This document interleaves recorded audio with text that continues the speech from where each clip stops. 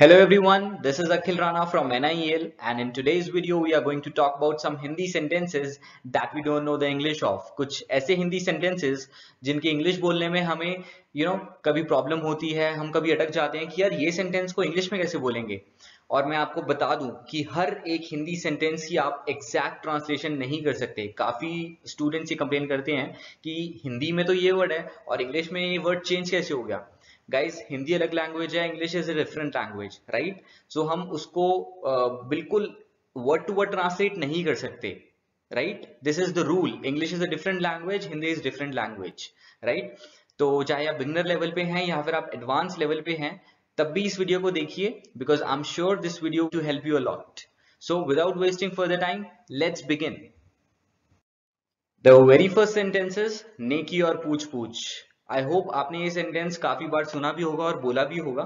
तो चलिए जानते हैं इंग्लिश में हम इसको किस किस तरह से बोल सकते हैं। Very first way is don't wait for permission to do good right second way is generosity doesn't require generals order यानी कि to be generous you don't need any one order and another way is magnanimity doesn't require to seek permission it means to be magnanimous to be generous magnanimous और generous का meaning same होता है. So to to be magnanimous you don't require to seek permission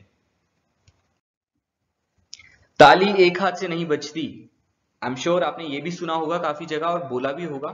so what do we say in English it takes two to make a quarrel quarrel means fight so it takes two to make a quarrel another way is, it takes two to tango or it takes two to tangle.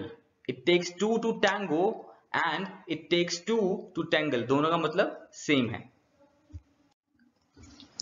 जिसके साथ बीती है, उसे ही असलियत पता चलती है। जिसके साथ बीतती है, उसे ही असली दर्द का पता होता है।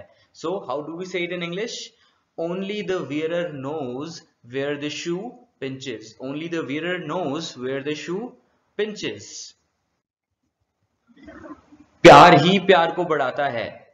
लव बिगेट्स लव सिमिलरली पैसे से ही पैसा बनता है। मनी बिगेट्स मनी राइट मैं जल्दबाजी में भूल गया। अक्सर हम ये सेंटेंस बोलते हैं मैं जल्दबाजी में भूल गया। I forgot it in haste या फिर जल्दबाजी के चक्कर में मैं अपनी बुक लाना भूल गया राइट right? सो so, हम इसे कैसे बोलेंगे? In my haste to leave I forgot my book suppose आप कॉलेज जा रहे थे और जल्दी में आप लेट हो रहे थे तो आप अपनी बुक भूल गए। तो आप अपनी टीचर को क्या बहाना मारोगे? In my haste to leave I forgot my book वैसे ये कोई इतना अच्छा बहाना नहीं है, आप इससे बेटर बहाने ढूंढ सकते हैं। जो दूसरों का बुरा करता है, उस अक्सर उसके साथ बुरा खुद होता है। या फिर आपने ऐसे सुना होगा, जो दूसरों के लिए गड्ढा खोदता है, वो उस गड्ढे में खुद ही गिर जाता है। He who digs a pit for others falls into it himself I am sure आपने ये ज़रूर सुना होगा तीन तिगाड़ा काम बिगाड़ा राइट या फिर जहाँ मिले पाँच माली वहाँ बाग सदा खाली। जो तीन होता है अक्सर हिंदू कल्चर में ये एक ओमन माना जाता है या मिथ कह, कह लीजिए इसे। जो पुराने लोग थे वो उसको मानते थे कि जो तीन होता है वो अपशगुन होता है या समथिंग लाइक दैट आजकल की जनरेशन इसे नहीं मानती है। तो चलिए जानते हैं इसको इंग्लिश में हम क्या बोल सकते हैं। Too many cooks spoil the soup और ध्यान दीजिएगा इस सूप को हम ब्रॉथ भी कहते हैं B R O T H तो हम ये भी बोल सकते हैं too many cooks spoil the broth मेरी बाई आँख फड़फड़ा रही है। अक्सर लोगों के साथ ऐसा होता है कि उन्हें कोई इंट्यूशन आती है तो उनकी लेफ़्ट वाली आँख फड़फड़ाने लग जाती है राइट वाली आँख फड़फड़ाने लग जाती है। तो how do we say this my left eye is twitching और my right eye is twitching मामले को रफा दफ़ा कर दो। So how will you say this hush up the matter या फिर क्लियर द मैटर छोटा मुँह, बड़ी बात। स्मॉल माउथ बिग टॉक या फिर small wits great boast boast कौन होता है? जो हवाबाजी करता है राइट right? अच्छा एक तो ये हो गया छोटा मुँह, बड़ी बात। छोटा मुँह, बड़ी बात इट मींस यू नो जिसकी, जो अपने लीग से आउट ऑफ़ लीग बात कर रहा है, जिसकी उतनी औकात नहीं है, जिसकी उतनी पहुँच नहीं है, लेकिन वो बड़ी बड़ी बात करता है।